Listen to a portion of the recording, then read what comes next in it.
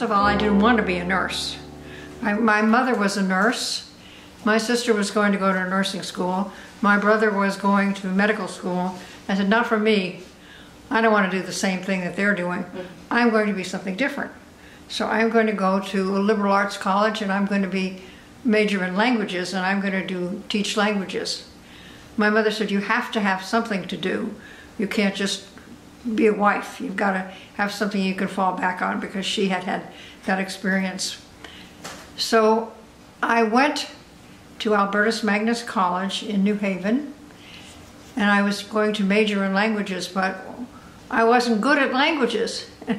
so, but I was getting very good marks in the sciences, chemistry, biology, so forth. And my mother said, you know, maybe you should go to nursing school. Oh, no, I don't think so. Well, let's just go to look. So we went to New York to visit Columbia Nursing School and Cornell Nursing School. I decided on Columbia, and I went, I went to Columbia for nursing school, and I loved it from the minute I got there.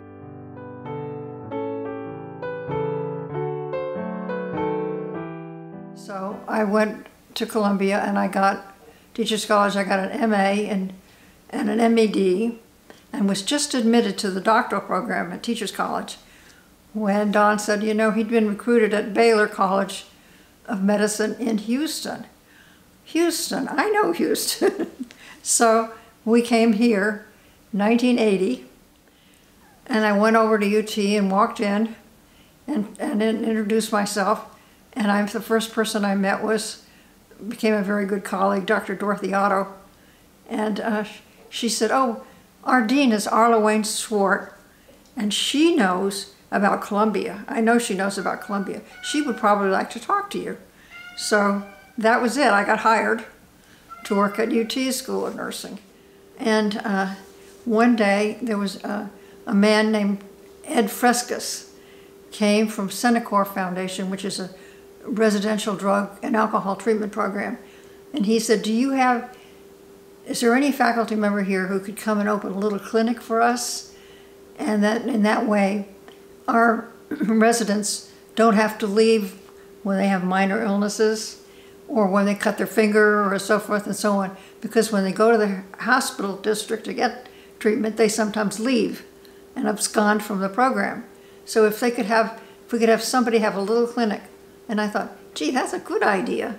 I can take my nursing students, they could do the physicals that were needed, they could do the minor, treat the minor injuries and so forth.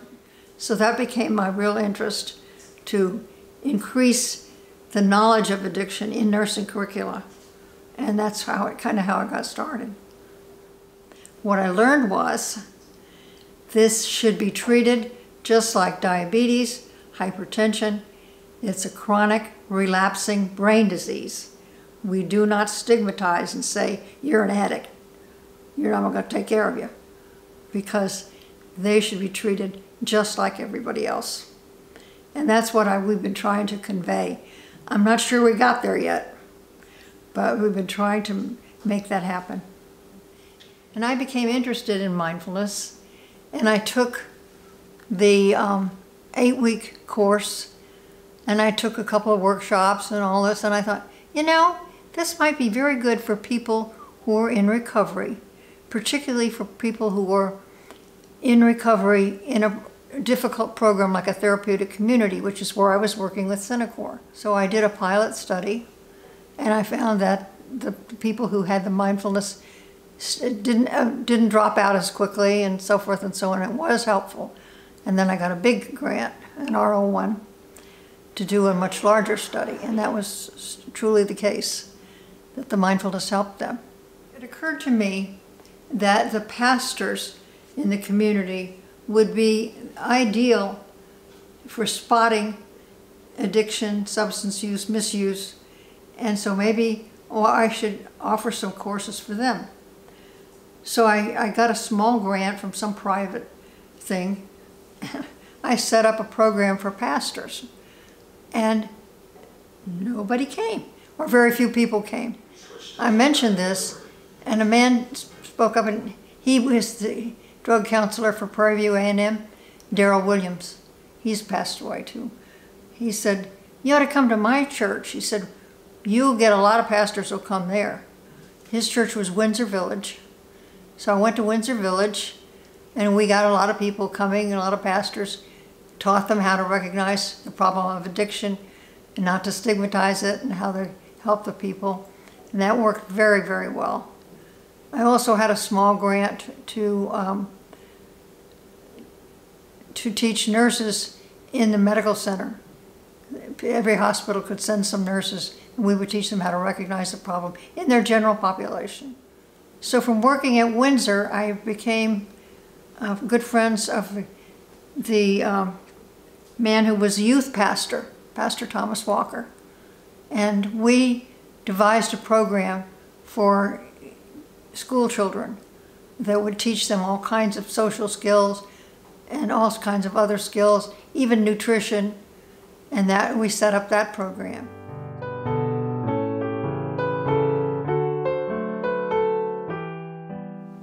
There was a colleague of mine who had met at AMERSA who was on the Brown faculty, and, uh, and, uh,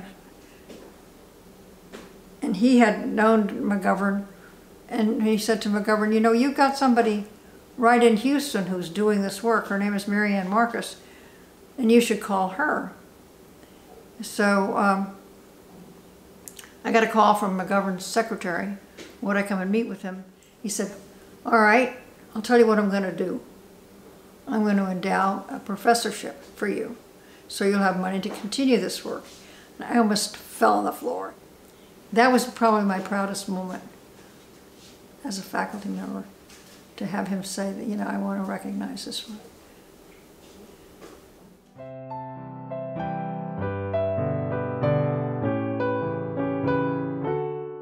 I go went every semester. I taught a lecture and a program on uh, substance use in the elderly in the gerontology course. Tell me about Mrs. Kowalski. You're looking at her. I go in and have been going in every semester also to be a patient. A mean, nasty Polish immigrant woman who screams and yells at the students what the hell are you doing in my apartment? Blah, blah, blah, blah. And uh, put them through the, the wringer in terms of how they would treat a patient in the community. So I, I was, my acting skills were, I've really got that down pretty good. Dorothy Otto was Mrs. Malone, so she went in as the patient, Mrs. Malone. Mrs. Malone was nicer. But Mrs. Kowalski is, can be really tough. You know, and, that, and then at the end of the class, and you do it, I did it like three times in a day or something like that. You know, they just over and over and over. Uh, they introduce me as to who I really am.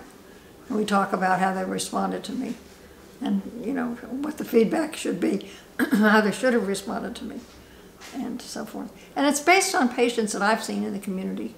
You know, there are people who just don't want you to tell them what to do. Mrs. Kowalski is doing a lot of drinking. She has a bourbon thing. And uh, she is cut off from her community, cut off from her family, all of the things that nurses sometimes have to overcome when they meet patients in the community. So, yeah, that's, that's a fun part of what I've been doing, yeah.